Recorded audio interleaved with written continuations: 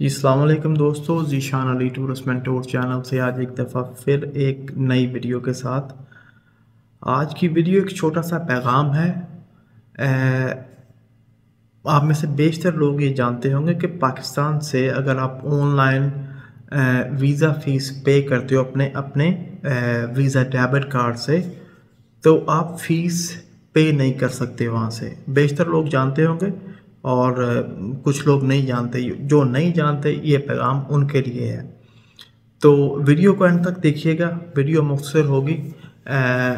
शायद किसी का भला हो जाए। अगर वीडियो पसंद आए, प्लीज़ इसे लाइक, शेयर और कमेंट कीजिए और बेल आइकन पे प्रेस कर लें। और जो मेरे दोस्त इस वक्त इस चैनल पे नए हैं या ये मेरी वीडियो देख रहे हैं मेरे चैनल को सब्सक्राइब कीजिए, प्लीज़, एंड थैंक यू। तो चलें जी, हम अपने पैगाम की तरफ़ चलते हैं। मेरे एक सब्सक्राइबर हैं, पठान हैं। तो उन्होंने मुझे कॉल करी तो मुझे कहने लगे कि भाई, मैं ऑनलाइन वीज़ा अप्लाई फ़ीस पे कर रहा हूँ अल्बानिया के लिए।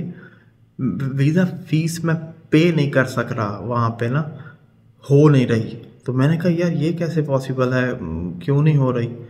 अच्छा मेरे जहन में आया क्योंकि कुछ साल पहले अल्बानिया की किसी आई बिलीव के इंडियन लोग थे, उन्होंने ना एक फेक वेबसाइट बना के रखी हुई थी वीज़ा फ़ीस ले लेते थे तो वो उसका कोई स्टेटस नहीं था, कोई उसका चक्कर माँ बाप नहीं था उसका।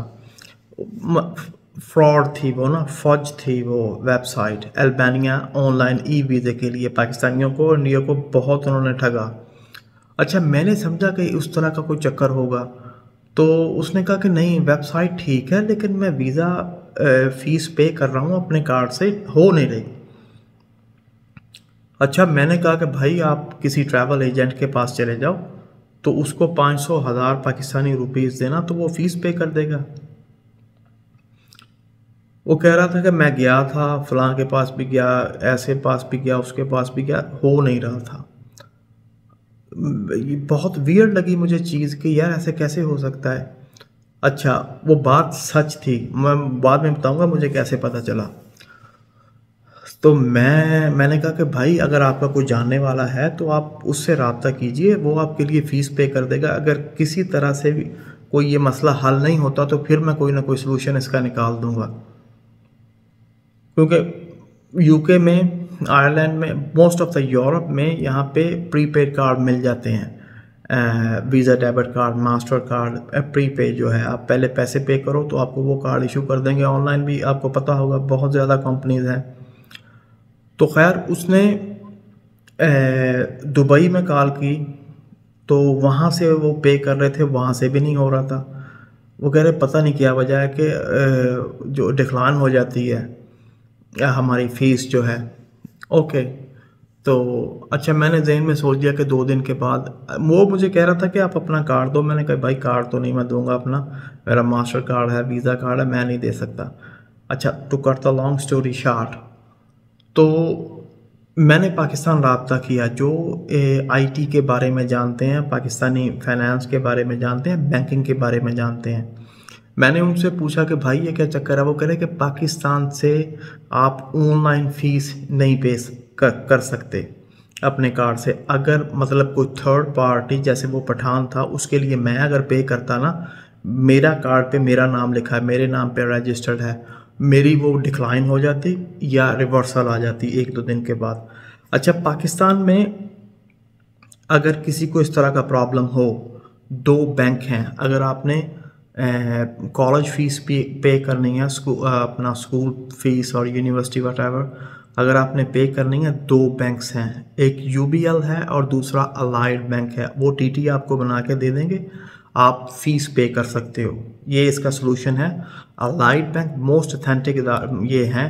अलाइड बैंक है और यू है। ये दोनों बैंक्स आप जाके अपनी फ़ीस पे कर सकते हो। अच्छा उसके अलावा अगर वीज़ा फ़ीस है तो वीज़ा फ़ीस को ये फ़िलहाल वक्त डील नहीं कर रहे, या शायद कर रहे होंगे, लेकिन जो जिसके, जिससे मैंने बात करी है, वो कह रहा कि अभी ये वीज़ा फ़ीस नहीं है, पे कर रहे यूनिवर्सिटीज़ की फ़ीस हो गई, या फिर कॉलेज स्कूल की फ़ीस ये पे कर रहे हैं। तो उसके अलावा अगर ये वीज़ा फ़ीस पे करनी है, वहाँ पे वॉल स्ट्रीट वाले हैं walls street all over the Pakistan है, वो आपके लिए फ़ीस पे कर देंगे।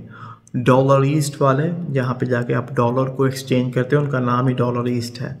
वो आपके लिए फ़ीस ऑनलाइन जो है, वो पे कर सकते हैं वीज़ा फ़ीस और अगर ये सारी चीज़ें वहाँ पे नहीं मैसर, लेकिन इंटरनेट है तो आप ऑनलाइन कार्ड बाय कर सकते हो। जो किसी से पूछ लें, जो इन चीज़ों के बारे में जानता है, मैं अपने एक्सपीरियंस के बिना पे बता रहा हूँ कि अगर मैंने अपना कार्ड कोई वेबसाइट है वहाँ पे नहीं देना तो मैं यहाँ पे हमारे यूके में कार्ड मिलता है Swirl card S W I R L Swirl card है, वो आप ऑनलाइन भी बाय कर सकते हो और उसको अपने नाम पे रजिस्टर्ड कर सकते हो। बहुत इजी है। अच्छा ये तो एक स्वेल कार्ड हो गया। उसके बाद एक कार्ड है one for all O N E one for F O R for all A double L तो वन फॉर ऑल वाउचर है। एग्ज़ाम्पल अगर थर्टी पाउंड थर्टी यूरो आपकी फ़ीस है। किसी भी जैसे अल्बानिया की ट्वेंटी सेवन पाउंड है थर्टी थ्री पाउंड है। एग्ज़ाम्पल दे रहा हूँ। तो आप ऑनलाइन बाय करो। उसकी दो पाउंड फ़ीस होगी, दो यूरो फ़ीस होगी। एक्स्ट्रा दे के वो आप कार्ड बाय कर लोगे ऑनलाइन रजिस्टर करो अपने नाम पे और वीज़ा फ़ीस पे कर सकते हो। ऐसा हो सकता है। तो अगर कोई भी चक्कर ना चले इनमें से पेपाल किसी का अकाउंट ले लें, अपने ईमेल उस पर अटैच करके आप करवा सकते हो। अच्छा अभी पाकिस्तान में शायद ये सहूलत नहीं हो इंडिया में शायद नहीं हो, लेकिन फ्यूचर में हो जाएगी।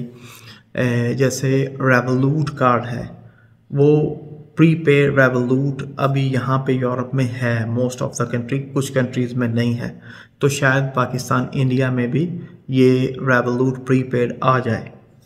तो दोस्तों आई होप सो कि किसी का भला हो सकता है। इस तरह अगर कोई फंसा हुआ हो तो मेरी ये वीडियो से मुस्तफ़ हो सकता है। Thank you so very much for watching my video in we will see you again अपना ख्याल रखिएगा दुआ में याद रखें। अगली वीडियो तक मुझे इजाज़त दें।